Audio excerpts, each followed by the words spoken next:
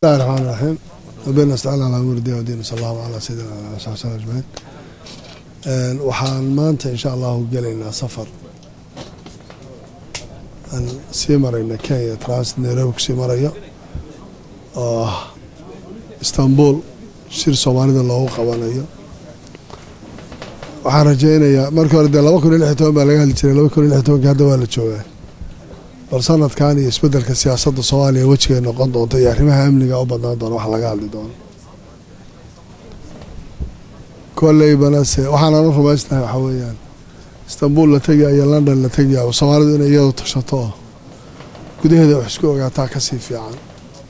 Balse wixii caalamku nagu caawinaya wixii kalena naga ama facilitation lanoogu soyna tashiilaadka ama wax laga qabanayo kulli waan arki doonaa. Waxaan rajeynayaana inuu guul ku soo dhammaan doono. Waxa ugu badanna aan filaya inay noqon doonto. Sida loo fulinayo hawsha laba kun iyo lix iyo toban doorashadu noocay noqon doonto iyo arrimaha ammaanka iyo arrimo kaloo la xidhiira horumarinta bulshada iyo dhaqaalaha. Shayga ani iila muhiimsan aan is leeyahay waa lagaga hadli karana waa arrinta amniga iyo xaaladda maanta waddanku uu ku jiro dadka reer kismaayona waxaa leeyahy reer jubbaland guud ahaan nabad ku sii jooga. Aad baad u mahadsantihiin. Asalaamu calaykum waraxmatullahi